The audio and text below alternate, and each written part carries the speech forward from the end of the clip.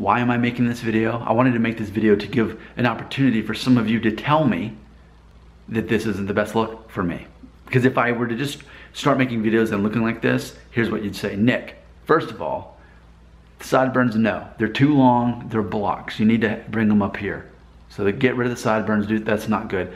Also, Nick, clearly you look better with a beard. That's a clean shave, so that doesn't look good on you. And then your zero guard from earlier the week has become more like a number one. So altogether, Nick, this is not a good look on you. This isn't your best, Nick. So what you need to do, Nick, you need to trim the sideburns or grow the beard and even get that down because that's not you're not you're not rocking it like you, you normally do, Nick.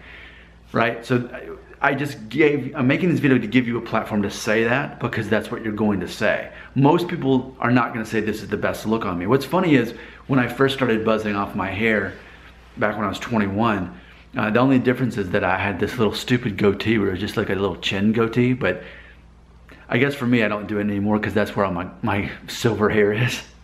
But anyway, I wanted, it's funny because I don't often make videos on, what is it, Saturday. See, here's what happens. On Saturday, I shave my face so that by Monday, when I do it the zero guard, I've got a perfect match. Two day stubble is the equivalent of the zero guard that I use.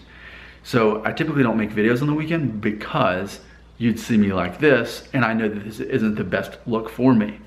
But ultimately, I don't care and I think it's important that we all face our fears. And if knowing that if this is me looking the worst version of myself or whatever with the buzz cut, well, I need to acknowledge that and I need to do a video on it because, again, I don't want my physical looks to be the source of my confidence.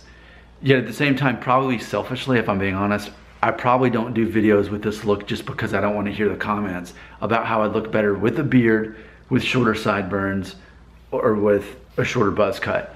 And really the only reason I have my sideburns this long is because I just wanted to see what it would look like basically. So uh, I've ta- I'm giving you a platform to tell me that this isn't the best look and that the sideburns look bad, that they're too big and they need to be taken down. That's why I'm making this video because we all want to express ourselves. So go ahead and tell me how bad I look right now with basically a one guard, clean shave, and long sideburns. Tell me how bad I look right here.